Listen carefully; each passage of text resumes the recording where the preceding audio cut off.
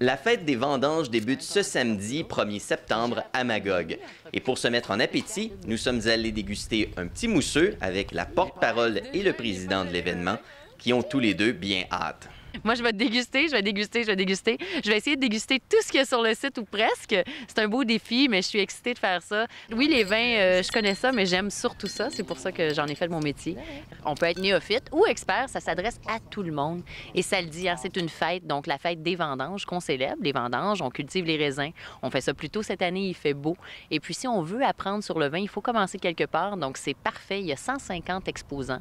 On se promène avec des billets, on déguste, on découvre des très beaux produits qu'on penserait peut-être pas aimer. Tu sais, des fois, c'est ça, essayer les choses, oser, découvrir. Puis au Québec, on fait des très belles choses. Je pense avec la pomme, même la poire, et puis évidemment le raisin.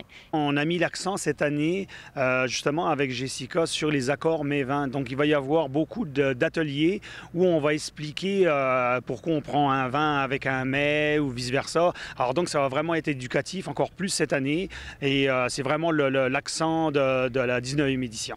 On parle vraiment d'un coup de cœur gourmand. Il y a de la musique, il y a, des choses pour les enfants. C'est un événement qui est complet.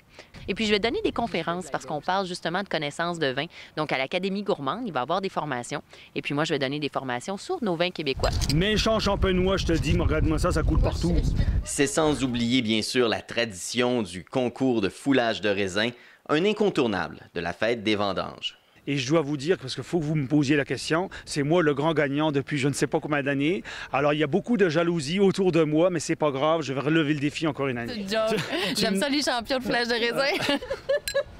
ouais, mais c'est ça, mais fais attention, il va t'arriver un pépin. Non! Oh!